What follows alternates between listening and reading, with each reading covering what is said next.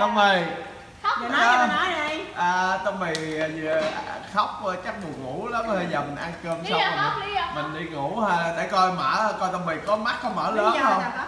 lớn không? Đâu mắt tông mì có mở lớn không thì chơi nửa tiếng. Mắt tông mì đó lớn quá. Sao khóc? Nói nghe là sao khóc? Sao khóc? Nói lý do là tông mì hả? Không. Không nói hả? Tại không nên khóc. Tại, lý do là không nên khóc lý do này hơi xàm nhé. Cười cái này. Con nói à, hồi trước dịch là 6 tháng trước con mấy ký nói bao nhiêu rồi không.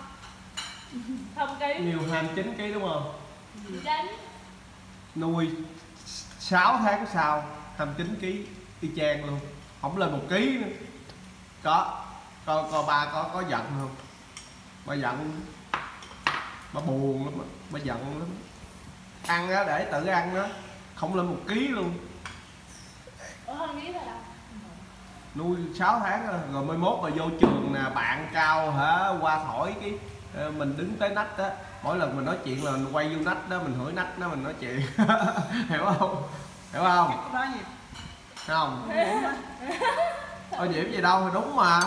Bà thí dụ nói chuyện với Quy Khánh đi cái quay qua Quy Khánh Quy Khánh thì bà Quy Khánh cao vậy nè. Tao mình đứng dưới nách nè.